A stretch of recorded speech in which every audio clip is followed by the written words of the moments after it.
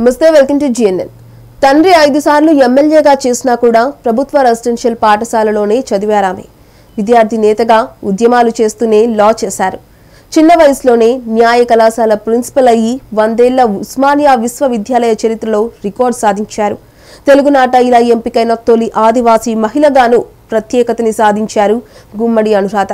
ప్రతిష్టాత్మక ఉస్మానియా యూనివర్సిటీకి అనుబంధంగా ఉన్న బషీర్బాగ్ పీజీ న్యాయ కళాశాలకు ప్రిన్సిపల్గా బాధ్యతలు చేపట్టింది ఓ ఆదివాసీ మహిళ. తెలుగు రాష్ట్రాల్లో ఓ యూనివర్సిటీలో అసిస్టెంట్ ప్రొఫెసర్గా ఉద్యోగం సాధించిన తొలి ఆదివాసీల చదువుల తల్లి గుమ్మడి అనురాధ. ఐదు సార్లు ఎమ్మెల్యేగా పనిచేసి ఇప్పుడు తన పొలంలో పనులు చేసుకుంటున్న మాజీ ఎమ్మెల్యే గుమ్మడి నర్సయ్య కూతురు గుమ్మడి అనురాధ. తాను పాతికేళ్ళ పాటు చట్టసభకు ప్రాతినిధ్యం వహించిన ఓ మాజీ ఎమ్మెల్యే కూతురును అనే విషయం ఆమె ఏనాడు ప్రస్తావించలేదు. పైగా ఆమెకు తన ఇంటర్ చదివే రోజుల్లో తెలిసింది తన తండ్రి ఎమ్మెల్యే అని.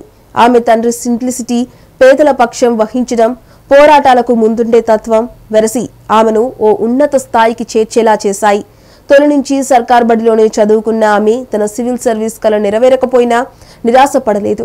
రెట్టింపు కసితో ఎల్ఎల్ఎం అనంతరం పీహెచ్డీ చేశారు.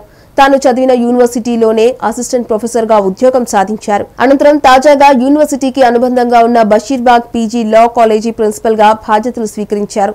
దీంతో ఒక్కసారిగా ఆమెకు అభినందనలు వెల్లువెత్తాయి. తన సొంతూరు టేకులగూడెం నుంచి చదువు కోసం అలా బయట అడుగుపెట్టిన అనురాధ ఆదివాసీల హక్కుల కోసం నిత్యం తప్పిస్తూనే ఉంటారు. Tribal property rights in Telangana special reference to Khammam అనే అంశంపై పీహెచ్డీ చేశారు. ఇలా పీహెచ్డీ చేస్తుండగానే అసిస్టెంట్ ప్రొఫెసర్గా ఉద్యోగం వచ్చింది. అనంతరం ఇప్పుడు బషీర్బాగ్ పీజీ లా కాలేజీకి ప్రిన్సిపల్ అయ్యేలా చేసింది. పేదలకు సేవ చేయాలన్న తన చిన్ననాటి కలైన సివిల్స్ కోసం కోచింగ్కు వెళ్ళిన ఎగ్జామ్ ప్యాటర్న్ చేంజ్ కావడంతో తన ప్రయత్నం విరమించుకున్నారు. అప్పటి నుంచి తన తండ్రి కోరిక మేరకు లా విద్యార్థిగా మారారు. అక్కడే తన కెరియర్కు పునాది వేసుకున్నారామె నాగరిక సమాజానికి దూరంగా పుట్టి పెరిగిన ఆమె ఏనాడు నూన్యతకు లోను కాలేదు.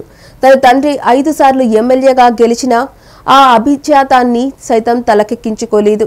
పైపెచ్చు తన భవిష్యత్ను జీవితంలో తాను ఏం చేయాలో దానికోసమే తన చదువును ఉపయోగించుకున్నారామె కేవలం చదువులోనే కాకుండా ఆటల్లోనూ ప్రవేశమున్న అనురాధ వాలీబాల్ రాష్ట్ర స్థాయి టీంలో ఆడారు.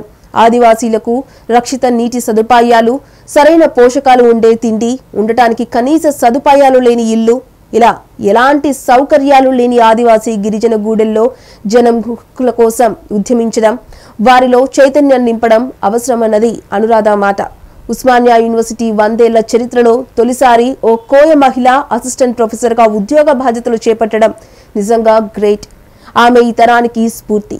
మరిన్ని సక్సెస్ స్టోరీస్ కోసం జేఎన్ తెలుగు ఛానల్ను సబ్స్క్రైబ్ చేసుకోండి. Hi it's me Madhavi Latha please subscribe to GNN TV